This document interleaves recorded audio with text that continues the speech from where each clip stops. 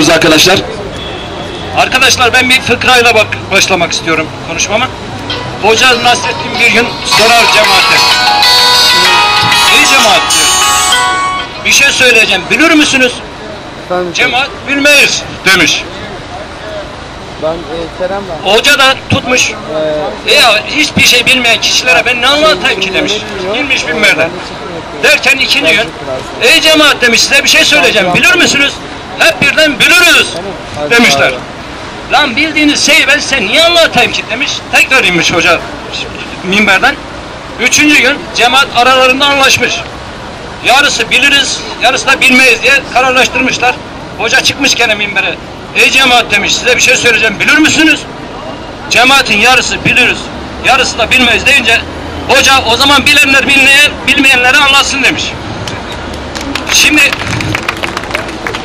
e, aslında biz neyi bilip neyi bilmediğimizi çok iyi biliyoruz. Ama bilmeyen bir adam var. Bize 11 yıldır yalan söylüyor. 11 yıldır. 11 yıldır. İflahımızı kesti artık. Yalanlarından bıktık usandık. Şimdi bu adam hiç ya gerçekten arkadaşım söylüyor. Yüzü kızarmadan yalan söylüyor. 11 yıldır iflahımızı kesti. 11 yıldır bizi böcek yerine koydu. Bizi hayvan yerine, pislik yerine koydu arkadaşlar. Biz buna isyan duyuyoruz. Şimdi bizim arkadaşlar bir tane bir sürü yürüyen adamımız vardı. Yüz binlerimiz yürüdü. Yüz bin toplanan adamlarımız vardı. Yüz, binlerle, milyonlarla toplandık. Oturan insanlarımız oldu. Duran adamımız oldu. Ama bir tane de kendisi farkında değil ama giden adamımız var. Giden adamımız var.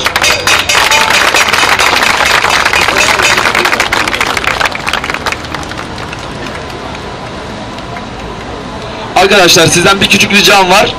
Ee, öncelikle forum boyunca buna çok sıkıntı olmadı ama bundan mutluluk duyuyorum. Forumu idare etmekte görevli arkadaşlarınızdan biri olarak. Ee, özellikle burada çok fazla kadın arkadaşımız da var. Küfür, cinsiyetçi, ayrımcı, ayrılıkçı ifadelerden lütfen korunalım. Elbette ki faşizme karşı öfkemiz var ama faşistlere karşı, alçaklara karşı öfkemizi o alçaklardan olmayanlara karşı hakaret ederek kullanmayalım arkadaşlar. Buna dikkat edelim ve kısa söz almaya çalışalım arkadaşlar. Herkese iyi akşamlar. Orta Doğu Teknik Üniversitesi'nin e, çözüme yönelik e, önerileriniz, önerilerinden sizden bahsedeceğim. E, mesela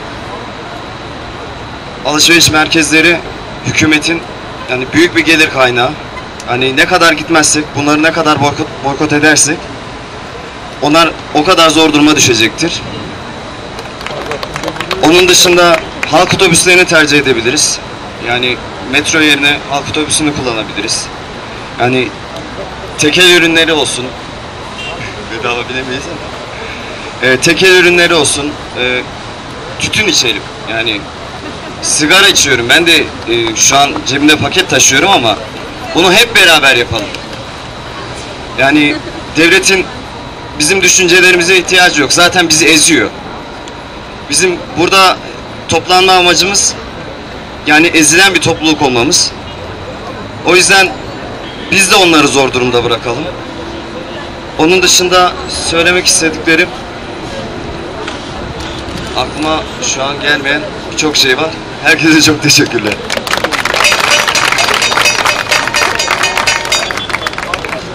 Yeri gelmişken bir hatırlatma geldi. Az önce söz alan Adana Gezi platformundan size seslenen arkadaşımız bir hatırlatma yaptı bana. Adana'da 5 Ocak stadyumu tahmin ettiğiniz üzere kapatılıyor, başka bir yere taşınıyor. Bilin bakalım yerine ne yapıyorlar? Ne yapıyorlar? Bunların dini imanı ne olmuş? Evet arkadaşlar, biz AVM'lere karşı da direneceğiz. Onların artık AVM'ler yıkılsın, talim altında kalsın.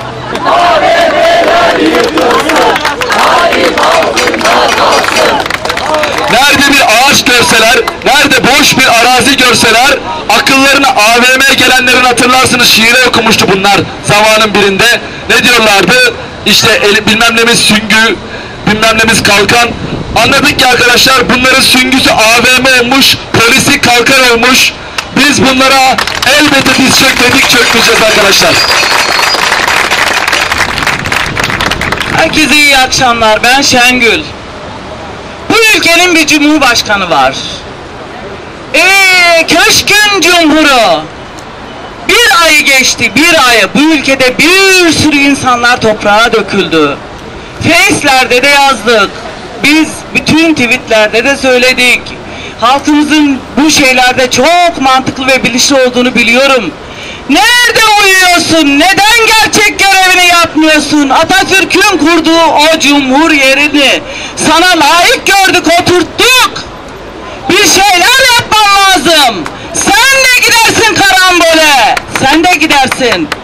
Ya her şeyi artık sat, sattı, sattı, sattı, sattı. Ülkenin alt, yeraltı kaynaklarının altın madeninden tut da oralara kadar göz dikti. Amerika ile işbirliği kurdu. Zaten bütün AVM yaptığı yerleri, yaptığı yerleri bütün e, şeyle beraber paylaşıyor. Amerika ile beraber paylaştığına göre, onlara da rahat sağladığına göre altınları nereye koyuyorsun? Nereye? Dışarı nereye götürüyorsun? Sulara göz diktin altın gibi sularımıza. Daha başka neyi satacaksın? Yeter artık yeter. Her şeyi bizim askerimizi, polisimizi, bizim içimizden çıkan evlatlarımızı karşımıza bize bizi onlara ölçü gibi gösterme huyundan vazgeç. Başaramayacaksın bu ülkeyi. Parçalama ya. Bütün İslam devletlerinin de bir şey mifak tohumla tohumlarını sen ektin. Sen bu ülkelerden bir şeyler kapacağına Amerika'yla dış emperyalist ülkelerle neyin pazarlığını yaptın? Uyumuyor bu millet. Sokaklara dön de bak. Bak senin polislerin dün burada millet toplanırken camları indirdi aşağıya. Hangi halkı kandırıyorsun? Ancak sana yalakalık yapan, seni satın aldığın insanlar sana inanırlar. Hiç kimse inanmıyor. Biz bu ülkemizin malına, mülküne değil, bir karıncasına, bir insanına bile günlerden beri sokağa düşmüşüz zarar vermiyoruz. Yeter kendine gel. Bu senin artık son çırpınışların. Son çırpınışların. Can çekişiyorsun. Bunu kabul et. Saygılar sunuyorum. Arkadaşlar şöyle bir gözlük bana getirildi. Kaybeden var mı? Hayli numaralı bir gözlük arkadaşlar. İhtiyacı olan varsa verecektim ama ben burada kalsın. Biz bir yere götürürüz uygun bir yere. Devam ediyoruz arkadaşlar. Bir genç arkadaşımız var sonra sıra vereceğim. İyi akşamlar. Ee, az önce bir beyefendi Melih Gökçek'i e, karşısına çıkmak istediğini söyledi. Çıkmayacak bizim karşımıza biliyorum ama yine de kendisi Twitter'ı aktif olarak kullanıyor. Benim bir önerim var. Hepimiz Twitter'dan çağıralım. Güven Park'a gel. Forumumuza katıl. Seninle konuşalım diyelim. Retek'ten de yardım isteyebiliriz bu konuda. Çık, çıkmayacağını biliyorum. Çıkmayacağını biliyorum. Ama biz çağrımızı yapalım. Böyle bir önerim var benim.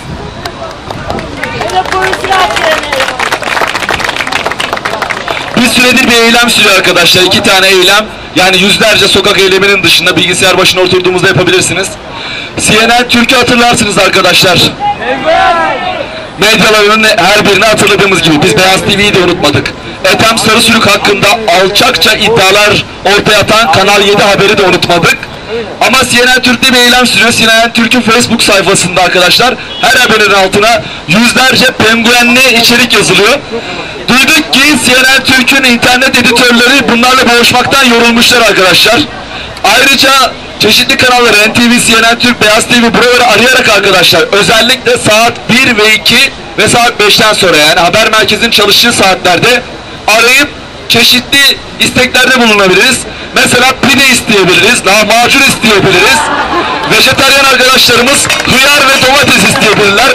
Direnişin yaratıcılığını unutmayalım arkadaşlar. İyi akşamlar. 65 yaşında çapulcuyum ben. Genç kardeşlerime zaman zaman soruyorum.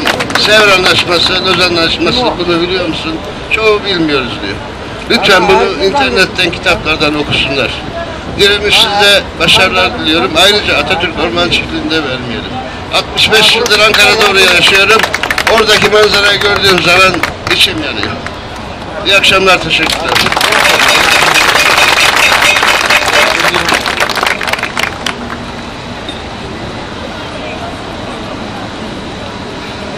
Evet arkadaşlar forumla söz vermeye devam edeceğim.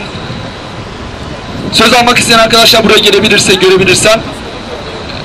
Evet arkadaşlar bu akşam bizler bir gerçek için toplandık buraya. Bir gerçeğin kendisi olmak için toplandık. Çünkü dün bizim Taksim'de sokağa çıkan arkadaşlarımıza Gezi Parkı'nı geri almak için ellerinde mahkeme kararıyla Taksim'e çıkmaya çalışan arkadaşlarımıza polis vahşice saldırdı. Biz buradan o polislere yani ne dedi bir arkadaşımız 2750 lira mı alıyorlarmış? Biz onlara buradan gerçekten seslenelim. Artık Taksim'de, İstanbul'da, Kadıköy'de geçtikleri her yerde yuvalanıyorlar bu insanlar. Polis, simit sat, onurlu yaşa diyelim.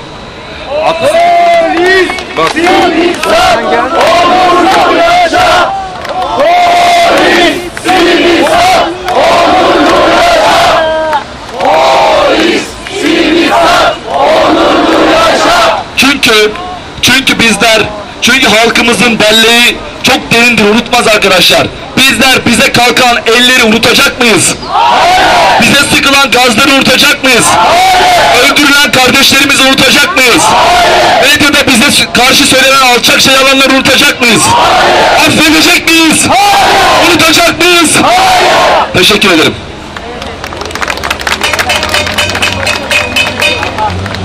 Arkadaşlar merhaba. Ee, Ben Dumlupınar Üniversitesi'nden mezunum. Daha 3 hafta falan oldu mezun olalı. Hani bu eylem başladığında ben Kütahya'daydım. Eylem başladığında biz öğrenciler olarak indiğimizde hani çok çetin tartışmalara yer aldı. Bizim hocalarımız bize notlarla da tehdit etti. Ee, Daha sonra hani karşı olan öğrencilerin çoğu arkadaşım hala yaz okullarında bütlerde sürünüyor. Hani bu eylem hani Gezi Parkı için başlamış olsa da bunun doğuran sadece 3-5 ağaç onların tabiriyle değildi. Benim babam işçi. Ben e, du, hani üniversiteyi kazandığımda zaten hani son sene dershaneye giderek ona trilyon